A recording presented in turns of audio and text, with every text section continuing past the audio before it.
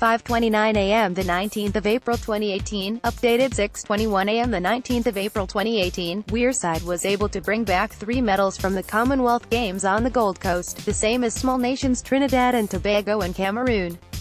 One of them was Silksworth's David Bolt, who won bronze in the men's fours team lawn bowls. His England team beat Wales 15-9 to earn him the medal. He's back in the city, after a 36-hour journey back from Australia.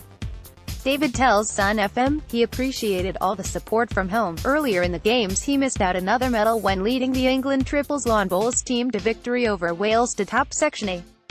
But they got knocked out 18-19 in the quarter-finals by Norfolk Island, a small island in the Pacific Ocean between Australia and New Zealand. David tells Sun FM that he is starting to understand his achievement, he's come home a really happy man, and enjoyed the experience. David tells Sun FM that it was a life-changing time and he hopes to do it again in four years' time. The other two medal were for Washington's boxing McCormick brothers. Luke won a bronze, while it was gold for his twin Pat.